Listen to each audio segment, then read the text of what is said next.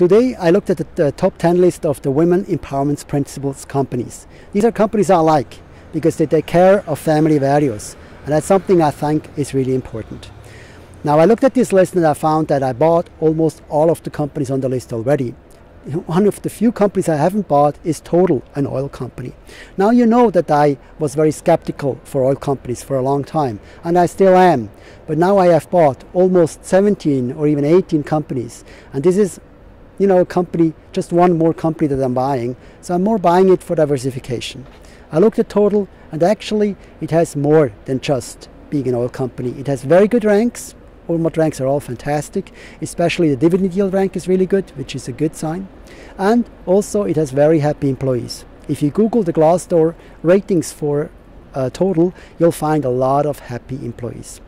That's my decision, what I bought today. I wish you good luck with yours.